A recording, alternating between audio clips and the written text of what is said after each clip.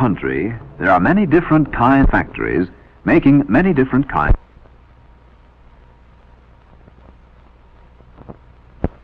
In factories, people work together at machines to make many of the products that help us live better and easier.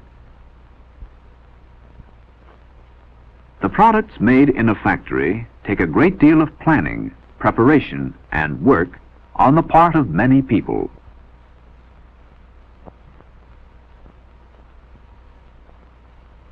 Let's visit a typical factory.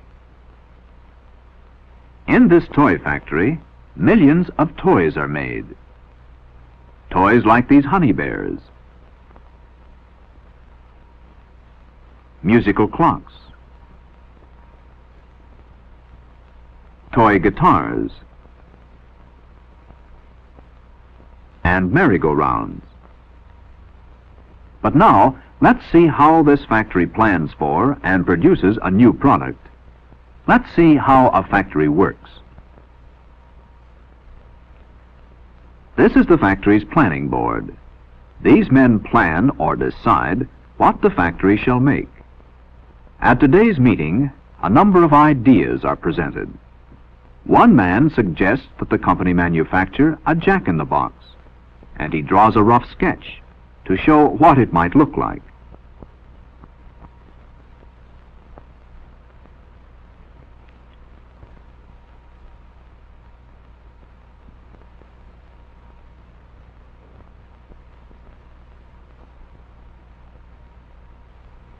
Then the idea is improved upon. Why not make a jack-in-the-box with music? A kind of jack-in-the-music box. Sketches of this idea are sent to the experimental department. A worker in this department makes a sample or experimental model of the new toy. This is what the jack in the music box will probably look like if it is finally manufactured.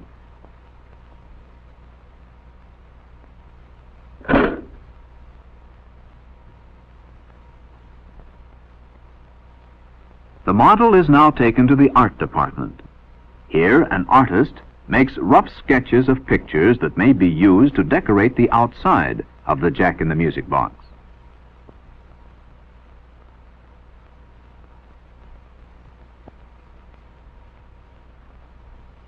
Then he takes his sketches and the decorated box back to another meeting of the planning board. The men on the planning board check the completed model.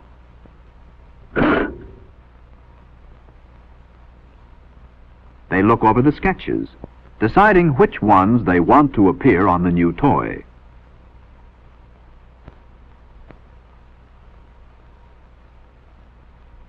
The Jack in the Music Box is finally approved for production. Engineering is the next step in the production of the toy. In the engineering department, highly trained engineers plan exactly what parts will be needed and how the toy will be made. They also design the tools that will be used to make the parts for the toy.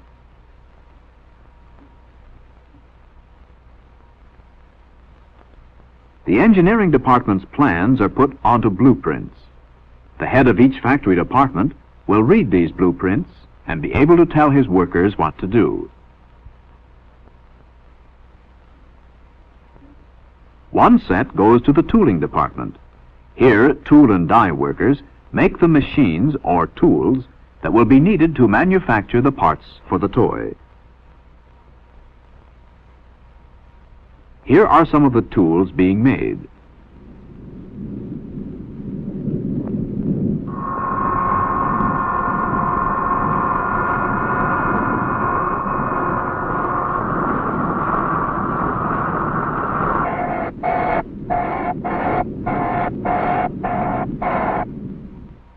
Another set of blueprints goes to the purchasing department.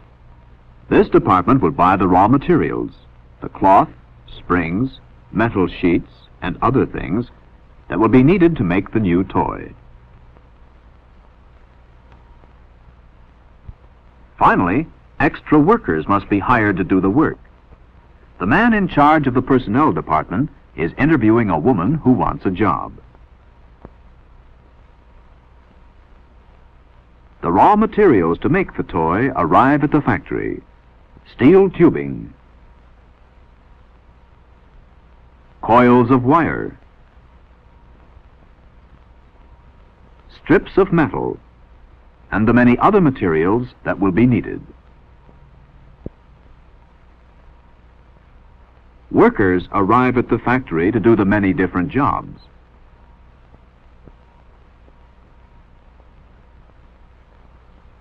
Now the tools have been made. The machinery has been moved into place. The parts for the jack in the music box are coming off the production line.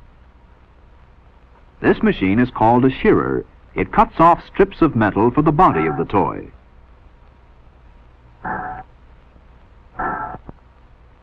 This automatic punch press is finishing the chime bar for the jack in the music box. The chime bar makes the music.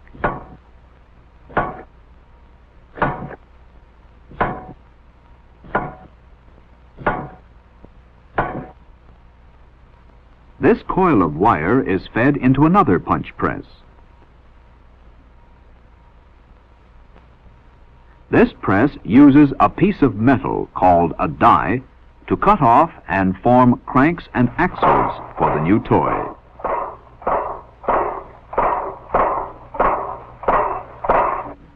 Now the parts have been made and the workers are ready to assemble or put together the jack in the music box. This is the assembly line. Each worker here does one special job, adding her part to the toy as it passes along the line. Let's start at the beginning of the assembly line and follow the process through. This is the first assembly operation.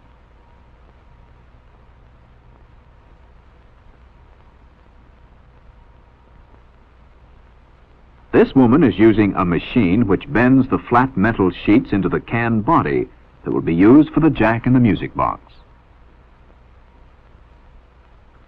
The cans move down to the next worker on the line. This worker joins or rivets in the parts that make the music.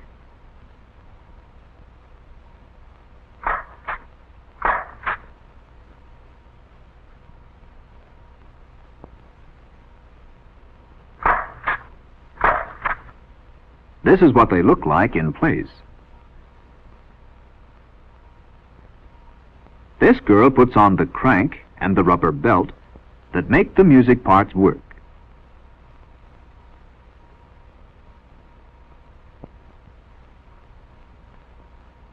Then she checks the music-making part of the toy.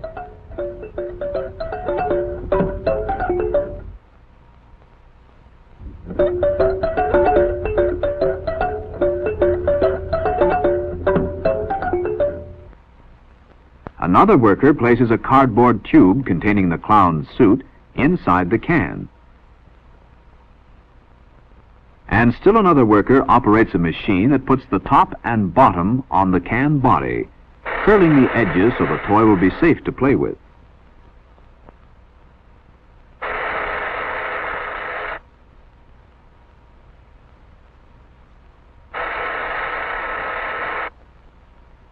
Now the clown's head is made ready for the new toy. A worker glues a hat on the head.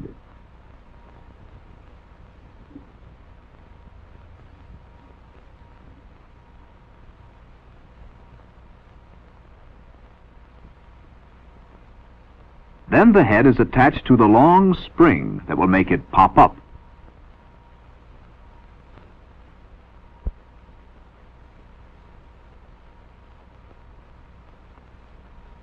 The spring, with its head, is placed inside the suit and the cardboard tube.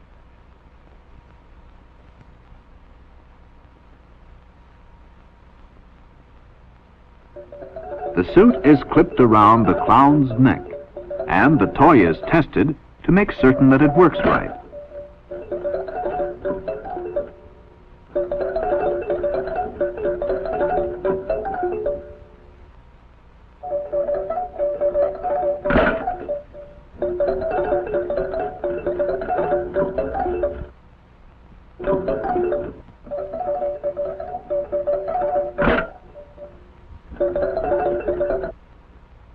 Finally, the completed Jack in the Music box is placed inside a cardboard container, ready to be sold to citizens.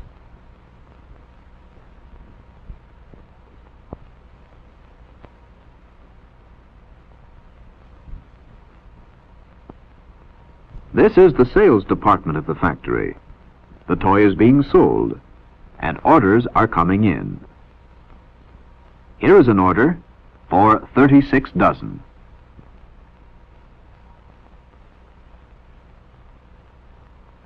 Shipping containers filled with toys are loaded into railroad cars. Trucks are loaded too. And the toys are sent on their way to hundreds of stores everywhere.